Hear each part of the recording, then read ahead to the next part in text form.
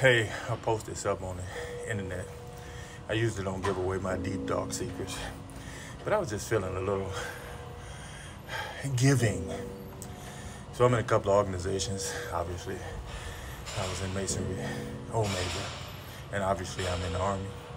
So I always hear people complaining about what ain't done for African Americans.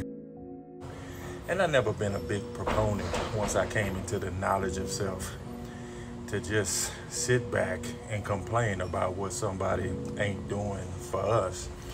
I usually take what I can and do for myself. That's the real self-knowledge. That's real black history. But I digress. I put on the internet that I took the rituals from Masonic Lodge. I took the rituals from Omega Psi Phi, and I took the ritual from the NCO induction ceremony and gave my son, at the age of 14 going to 15, a rites of passage ceremony. I thought it was imperative since most coaches have rites of passage ceremonies. Now let me tell you how I did it. So maybe if you have the courage, you can educate yourself because people say knowledge is power. I disagree. The application of knowledge is power. A lot of us know what to do, but we're scared to death to do it. A lot of us can argue what to do. We have all kind of evidence, but you're still scared to death. So it actually doesn't even make sense for you to actually read anything because you ain't gonna apply. But again, I digress.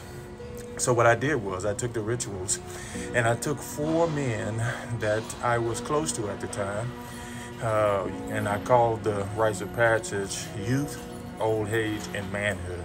So the first one we had a guy who was 21 years old. He was in the room. He was playing loud music. He had the boom box. He had on the do rag, and he gave my son some knowledge of what it was like to be 21. Gave him a gift, metaphorical gift, and sent him on his way.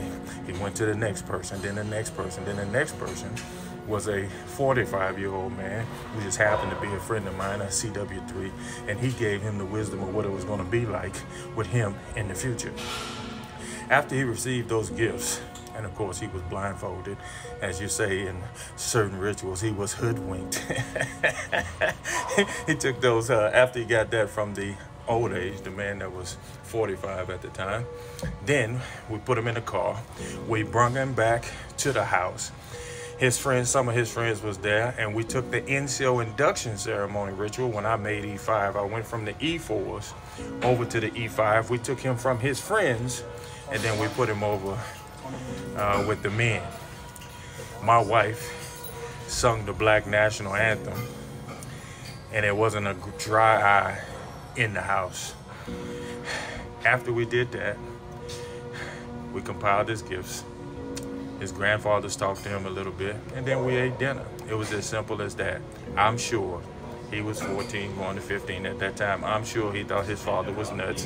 Why is he doing it and everybody else ain't doing it? I'm sure everybody in my house thought I was nuts. Why is my father so freaking crazy? Yeah, but you know, that's what a father does. He leaves and he changed generational curses. I did that for my son, and hopefully, hopefully, one day when he has children, he'll have the courage to do it for them. He doesn't have to do the same ritual that I did. He doesn't have to take the things that I did, but it needs to be some form of rites of passage to let him know he's moving from boy to man. Okay? So I hope this helps. And before you start with all of the pagan stuff and that's satanic, you're just talking. You're just running your mouth as usual, talking about what people should do, what they could do, what they ought to do, and you ain't doing none of it. And my favorite saying, I'll give you my four eyes. This is what I live by, and this is what I had my children to say every time they left the house. And you should get you a philosophy. I live by the four eyes. I as in letter, but I as in can see interdict mediocrity, intercept ignorance, influence and uh, infuse excellence. in my favor. And I want you to hear this carefully because everybody likes to tell me what to do. Influenced by many, defined by none. I'm going to say that again. influenced by many, defined by none, interdict mediocrity, intercept ignorance, infuse excellence, influenced by many, defined by none. The four eyes.